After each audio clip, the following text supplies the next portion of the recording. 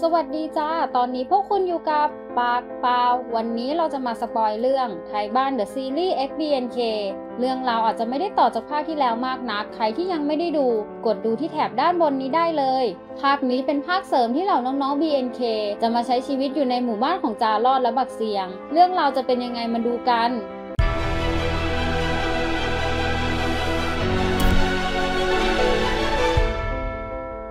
เริ่มเรื่องกันที่ชายคนนี้คือจ็อบซัง เป็นผู้จัดการวงนักร้องเกิร์ลกรุ๊ปชื่อว่าวง BNK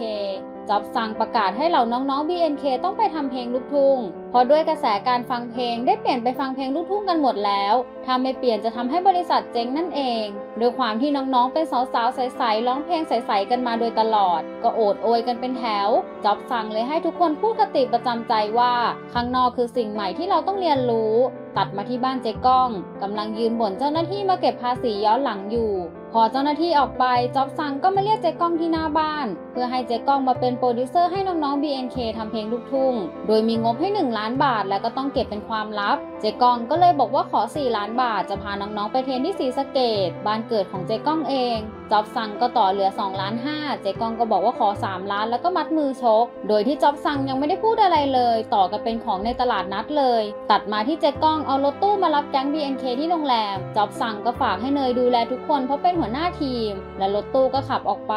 พอมาถึงทุกคนก็ไม่อยากลงเลย ด้วยความที่มันเป็นหมู่บ้านชนบทมาก เป็นบ้านไม้เก่าๆ แก้วเดินสำรวจบ้านทุกมุมไปจนถึงห้องน้ำจนสุดท้ายก็ลองกรีดขึ้นมาเพราะไม่อยากอยู่ที่นี่ ตัดมาที่เจ๊ก้องมาหาจารอดที่ร้านเจ๊สวย ก็ทักทายกันตามภาษาเพื่อน ที่ไม่ได้เจอกันมานาน เจ๊ก้องก็ถามจารอดว่าเป็นยังไงบ้างธุรกิจที่ทำร่วมกับไอปองจารอดก็ตอบแบบไม่คิดเลยว่าเจ๊ง เจ๊ก้องก็เลยชวนจารอดมาเป็นผู้ช่วยธุรกิจหน่อย แต่จารอดมันก็บอกว่าผู้ช่วยอีกแล้ว ไอ้ป่องก็ให้มันเป็นผู้ช่วย สุดท้ายก็เจ๊ง เจ๊ก้องเลยบอกว่าผู้ช่วยของเจ๊ได้เงินเยอะนะ บักรอดก็สนใจทันที มาทางฝั่งของสาวสาววีเนยกำลังลองกินอาหารอีสาน แต่ก็กล้ากลัวๆไม่กล้าเอาเข้าปากสักที เพื่อนๆ ก็แกล้งจับช้อนจะช่วยตัก แต่มันก็ตกใส่จานกระเด็นไปหมด ทุกคนก็ร้องกรี๊ดกันใหญ่โถขวัญเอ้ยขวัญมา พี่เลี้ยงเห็นท่าไม่ดีเลยเอาสมุดมาจด ถามว่าต้องการอะไรกันบ้างจะไปซื้อให้ ทุกคนก็รุมกันสั่งข้าวสั่งของกิน แต่แก้วดันสั่งดินน้ำมันเพราะจะเอามาติดห้องน้ำที่มันมีรูอยู่ ตอนเช้าจารอดก็มาปลุกทุกคนว่าตื่นได้แล้ว แต่สาวๆทุกคนก็ดูจะงงว่าไอ้หมอนี่มันคือใคร หลังจากที่ทุกคนอาบน้ำแต่งตัวเสร็จแล้วเจ๊กองก็ให้จารอดมาแนะนำตัวกับสาวๆและมอบหน้าที่ให้จารอดพาทัวร์หมู่บ้าน น้องๆ ก็ดูจะดีใจกันมาก ตัดมาที่จารอดพาทุกคนนั่งรถทัวร์หมู่บ้านหน้าทุกคนบ่งบอกเลยว่าเป็นทัวร์ที่สนุกมาก บักรอดมันพานั่งรถอีแตนกลางแดดร้อนๆแล้วพาน้องๆไปดำนาและจับปลา พี่เลี้ยงเลยเรียกจารอดมาถามว่าไอการดำนากับจับปลามันเกี่ยวกันยังไง จารอดก็บอกไปว่ามันเป็นเทคนิคที่จะทำให้ร้องเพลงเก่ง นักร้องดัง ๆ หลายคนก็ฝึกด้วยวิธีนี้ และยังบอกอีกว่านาพี่เลี้ยงน่าจะจับปลาเก่ง เหนื่อยกับมันจริง ๆ มาที่ร้านเจ๊สวยโมบายกับไข่มุกกำลังยืนซื้อลูกชิ้นของบักเฮิร์บอยู่ ไอ้มืดก็เดินมาถามว่าหน้าสาวสองคนนี้คคุ้นๆ ถามจนทั้งสองคนรำคาญ และกลัวมืดจะรู้ว่าพวกเธอคือ BNK เลยรีบเดินหนีไป บักเฮิร์บก็โมโหไอ้มืด หาว่าเพราะมันทำให้ลูกค้าหนี และบักเฮิร์บก็ปิดร้านไปเลย ตัดมาที่บ้านเจ๊ก้อง เขากำลังแอบคุยโทรศัพท์กับใครอยู่ไม่รู้แบบมีลับลมคมใน พี่เลี้ยงก็ถามว่าน้องๆจะได้ซ้อมตอนไหน เจ๊กองก็บอกว่าเดี๋ยวเตรียมซ้อมได้เลย ระหว่างที่ทุกคนกำลังจะเริ่มซ้อม เพื่อนเจ๊กองสมัยเด็กก็เดินเข้ามาขอถ่ายรูปด้วย ไม่พอก่อนจะกลับ มันยังขอเงินเจ๊กองไปอีกร้อยหนึ่งเวรกรรมจริง ๆ พอถึงเวลาเริ่มซ้อมเจ๊กองก็ให้สาวๆทุกคนทำเสียงเอ๊ะพร้อมกับกดเปียโนไปด้วย สาวๆทุกคนก็รัวเสียงเอ๊ะเอ๊ะเอ๊ะตามที่เจ๊กองบอก หน้าของพี่เลี้ยงก็มองด้วยความรู้สึกว่าอีหยังวะ ตอนค่ำเจ๊ก้องก็มานั่งนึกถึงเพลงที่เขาเคยแต่งไว้สมัยเด็กๆ แล้วไปค้นหาสมุดที่เขาแต่งเพลงไว้จนเจอ วันต่อมาไอ้มืดก็ยังไม่จบบอกกับจารอดว่า มันคุ้นหน้าพวกผู้หญิงกลุ่มนี้มากว่าเหมือน BNK แต่จารอดบอกว่าไม่ใช่ และเดินไปหาเจ๊ก้อง มาทางฝั่งของเจ๊ก้องกำลังร้องเพลงที่เขาเคยแต่งไว้ ชื่อเพลงว่าโดดดีดง ทุกคนก็ทำหน้างงกันหนักมาก ไอ้มืดก็ยังไม่จบเปิดโทรศัพท์ดูรูป BNK แล้วก็พูดขึ้นมาว่าสาวๆพวกนี้น่าจะเป็น BNK ก๊อฟ ตอนค่ำไม่มืดจารอดและครูแก้วกำลังนั่งกินข้าวกันอยู่ มืดก็มาบอกกับจารอดว่า รู้หรือเปล่าว่าสาวๆพวกนั้นเขาเป็น BNK จารอดบอกว่าหมอลำเหรอ ไอ้มือก็เลยอธิบายให้ฟังว่า BNK คืออะไร และมีกฎว่าห้ามจับมือ ถ้าอยากจับมือจะต้องเสียเงิน และใช้เวลาได้แค่ 8 วิ วันต่อมาปูเป้ก็มาขอให้จารอดพาไปซื้อน้ำหน่อย จารอดก็ไม่รอช้า พาซ้อนมอไซค์ไป 8 วิ แล้วก็จอดดับเครื่องไว้ โดยเหตุผลที่ว่ามันเกิน 8 วิกลัวจะเสียเงิน ปูเป้เลยบอกว่ามันไม่ใช่งานจับมือ ถ้าเสียเงินเธอจะจ่ายเองเหนื่อยกับมันจริง ๆ ตอนกลางวันสาวๆก็ยังมาซ้อมร้องเพลงโดดดีดงกันอย่างไม่หยุดไม่หย่อน แต่ก็ร้องกันไม่ได้สักทีเจ๊กองเดินมาบอกว่าเก่งมาก เราพร้อมแล้วเตรียมตัวกลับกรุงเทพกัน วันต่อมาสาวๆทุกคนก็เตรียมตัวขึ้นรถตู้กลับกรุงเทพจ่ารอดก็ได้ค่าจ้างไปงานง่ายจริง ๆ มาถึงกรุงเทพเจ๊ก้องก็พาเข้าห้องอัดทันที และทิ้งให้สาวๆอยู่กับเจ้าหน้าที่ในห้องอัด วันต่อมาเจ๊กองก็เพลงที่พาสาวๆไปอัดมา เปิดให้จอบสั่งฟัง แต่ปรากฏว่ามันไม่เป็นเพลงเลยร้องกันมั่ว จังหวะเพลงก็มั่วไปหมดโดยความที่น้องๆยังร้องกันไม่เป็น เจ๊กองก็เหมือนจะรีบใช้เงินเอาไปทำอะไรสักอย่าง เลยเร่งๆให้มันเสร็จๆไปจอบสั่งถึงกับงงจนพูดอะไรไม่ออก และให้เจ๊กองแก้ตัวกลับไปทำเพลงอีสานที่บ้านมาใหม่ โดยเงื่อนไขว่าถ้ายังทำงานมาแบบนี้อีกจะไม่จ่ายตังค์ให้ ตัดมาที่เจก้อง พาสาวๆกลับมาที่ต่างจังหวัดเหมือนเดิม แต่รอบนี้มาพร้อมกับบริการแว่นดำด้วยเช้าวันต่อมาเจกองก็เข้าโหมดจริงจัง มาเป่านกหวีดปลุกสาวๆ ออกมาวิ่งกันตอนเช้า หน้าทุกคนก็บ่งบอกกันมากเลยว่าอยากวิ่งสุดๆ เจกองก็พาน้องๆวิ่งไปเรื่อยๆโดยที่มีจารอดขับมอไซค์ตามหลัง แต่จู่ๆเนยก็วิ่งไม่ไหวเพราะปวดท้องเจ๊กองก็เลยให้จารอดพาซ้อนมอไซค์ไปซื้อของที่ร้านเจ๊สวย พอมาถึงก็เจอครูแก้วยืนซื้อของอยู่และขับมาจอดข้างๆหันไปมองครูแก้วทำเป็นยิ้มๆบอกว่าไม่ได้เป็นอย่างที่คิดนะ แต่หน้าครูแก้วก็เหมือนจะไม่เล่นด้วยจารอดก็เลยเล่นมุกเสี่ยวอีกแล้ว บอกว่าตรงนั้นคือหน้าที่ แต่ว่าตรงนี้คือหัวใจครูแก้วก็ยังหน้าตึงไม่ได้ว่าอะไร และบอกกลับก่อนนะกำลังจะเดินไปก็หันกลับมาบอกจารอดว่า ไม่คิดจะไปส่งเลยเหรอ แต่จารอดบอกว่าต้องไปส่งเนยครูแก้วก็เลยบอกว่ากลับเองได้ เดินให้หมากัดขาเล่นก็ได้ ระหว่างนั้นเนยก็เดินออกมา สอนมอไซค์ผ่านหน้าครูแก้วไป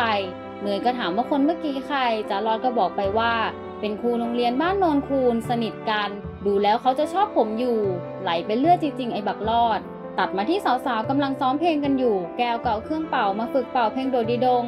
จู่ๆเด็กวงโยธวาทิตโรงเรียนบ้านโนนคูนก็มายืนรอกันทั้งโรงเรียนเลย เพราะบักรอดไปเอาเครื่องดนตรีของเด็กมาให้แก้วเป่านั่นเอง มาทางฝั่งของเจ๊ก้องกำลังสอนให้สาวๆร้องเพลงหน้าพัดลม และพาไปร้องเพลงกลางทุ่ง โดยให้ใช้เทคนิคการตะโกนดังๆ เช้าวันต่อมาทุกคนก็ตื่นมาวิ่ง และดูเหมือนว่าวันนี้สาวๆจะเริ่มสนุกขึ้นด้วย ตอนกลางวันเนยกำลังซ้อมร้องเพลงอยู่จารอดก็นั่งข้างๆทำท่าเนียนจะหลอกจับมือ แต่ก็หันไปเห็นบอดี้การ์ดแว่นดำกำลังมองอยู่ บักรอดก็รีบหยุดและนั่งนิ่งๆทันที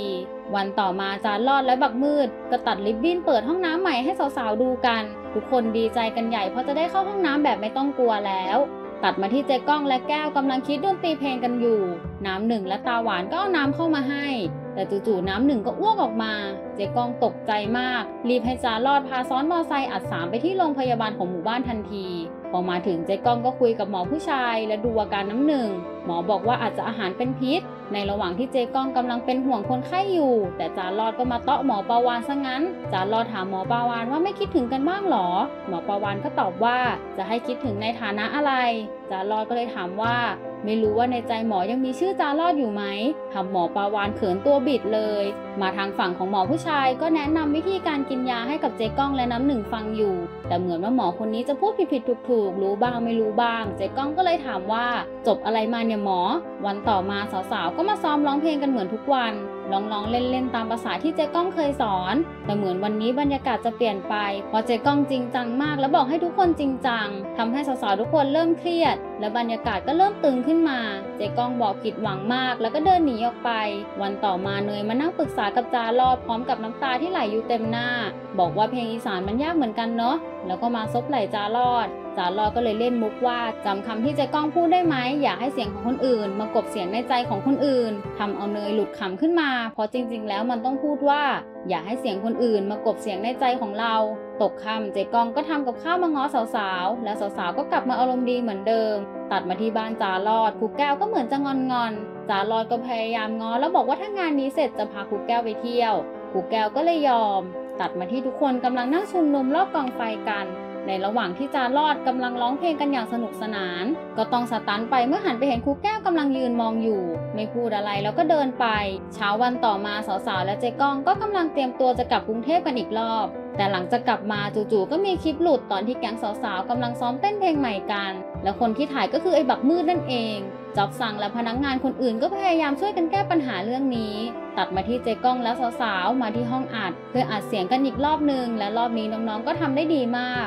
แต่จู่ๆต้นสังกัด BNK ก็โทรมาบอกให้เจก้องหยุดโปรเจกต์นี้ไว้ก่อน เมื่อได้ยินแบบนั้นก็เหมือนฝันสลาย สิ่งที่เจก้องลงทุนทำมากำลังพังทลายลง แต่ด้วยสปิริตเจก้องบอกให้น้องๆ อัดเสียงต่อเพราะไม่อยากให้น้องๆผิดหวัง ตัดมาที่จารอดก็เรียกมืดมาคุย เพราะเหมือนจะรู้ว่ามืดเป็นคนปล่อยคลิป แต่มืดก็ไม่ยอมรับจารอดก็เลยอบรมไปยกใหญ่แล้วบอกว่าไม่น่าเกิดมาเป็นน้องของมันเลย หลังจากนั้นมืดก็โมโหและเสียใจมากวิ่งมาเตะต่อยต้นกล้วยในป่าพร้อมกับร้องไห้ไปด้วย มาทางฝั่งจ็อบซังก็มาบอกความจริงกับสาวๆว่าไม่สามารถปล่อยโปรเจกต์นี้ได้แล้ว ทุกคนก็สตันกันหมด ตัดมาที่จารอดกำลังนั่งทำดอกไม้ไหว้พระอยู่กับครูแก้ว บักมืดและยาย จู่ๆก็มีของส่งมาถึงจารอด ในซองนั้นก็คือตั๋วคอนเสิร์ต BNK 2 ใบนั่นเอง ไม่รอช้าจารอดก็รีบนั่งรถไฟไปกับบักมืดทันที ระหว่างเดินทางเนยก็โทรมาหาจารอดบอกว่าคอนเสิร์ตถูกยกเลิกไปแล้ว ทั้งสองคนก็นั่งรถไฟกลับ พร้อมกับความรู้สึกสีเทาๆ ตัดมาที่เนยกำลังไลฟ์สดอยู่จารอดก็วิดีโอคอลมา แต่ก็ไม่ได้ยินเสียงอะไรเลย และสายก็ตัดไปแก้วก็เดินไปเล่นเปียโนเพลงที่พวกเธอเคยซ้อมกัน แต่เนยก็ห้ามไว้บอกว่าเราไม่ควรเล่นเพลงนี้ จู่ๆโมบายก็ร้องเพลงนี้ขึ้นมา และทุกคนก็เริ่มร้องตามกันทีละคน พร้อมกับร้องไห้ไปด้วย ตัดไปที่แก๊งสาวๆ ต่างคนต่างทำในสิ่งที่ตัวเองชอบ ในงานแต่งจ็อบซังสาวๆเจ๊ก้อง บักลอดมืด และครูแก้วก็ไปร่วมงานด้วย ตอนโยนดอกไม้ครูแก้วเป็นคนได้รับดอกไม้ไป ตัดมาที่สาวๆกำลังนั่งเซ็งๆเบื่อๆกันอยู่ จู่ๆก็ได้รับข่าวดีว่าโปรเจกต์เพลงอีสานได้ไปต่อ ทุกคนก็ดีใจมากจอบสั่งให้พี่เลี้ยงโทรหาเจ๊ก้อง แต่ก็โทรไม่ติด เนยเลยอาสาโทรหาจารอดให้จารอดก็ขับมอไซค์ไปหาเจ๊ก้องที่ร้านเจ๊สวย พอไปถึงแบตก็ดันหมดซะงั้น สรุปก็ไม่ได้คุยจารอดแล้วโทรศัพท์มาชาร์จแบตแล้วโทรกลับไปทันที เจ๊ก้องบอกว่าเขาส่งเพลงที่อัดไปให้กับฝ่ายการเงินตั้งแต่วันที่มารับเช็คแล้ว พอมาถึงวันงานคอนเสิร์ตจ็อบซังก็ได้รับโทรศัพท์จากต้นสังกัดว่า ไม่ให้ใช้เพลงนี้แสดงแล้วและให้ลบเพลงออกจาก YouTube ด้วยจ็อบซังก็มาบอกกับสาวๆว่าเราต้องขึ้นไปขอโทษคนดู หลังจากทุกคนขึ้นเวทีไป สาวๆทุกคนก็ได้พูด แล้วก็ขอโทษคนดู และร่วมกันร้องเพลงจากใจผู้สาวคนนี้ ตัดมาที่จารอด นั่งคุยกับหมอปาวานจารอดถามหมอว่าเรามีสิทธิ์จะมาเป็นเพื่อนกันได้ไหม หมอปาวานก็บอกว่าได้ถ้าจารอดไม่รู้สึกเกินกว่านี้ เรื่องราวทั้งหมดจะจบลงยังไง ติดตามกันต่อได้ที่ช่องเรา ถ้าอยากดูช่วยกันกดไลค์คลิปนี้ให้ครบ 700 ไลค์ เราจะรีบทำให้ดู เรื่องต่อไปอาจจะไม่ต่อเนื่องกับไทยบ้านทุกภาค แต่รับประกันความมันแน่นอน จบลงไปแล้วสำหรับไทยบ้านเดอะซีรีส์ภาค FBNK เป็นยังไงกันบ้าง ถ้าชอบก็อย่าลืมกดไลค์กดติดตามกดแชร์เพื่อเป็นกำลังใจให้เราด้วยนะ และอย่าลืมกดกระดิ่งจะได้ไม่พลาดคลิปสนุกๆจากช่องเราบ๊ายบาย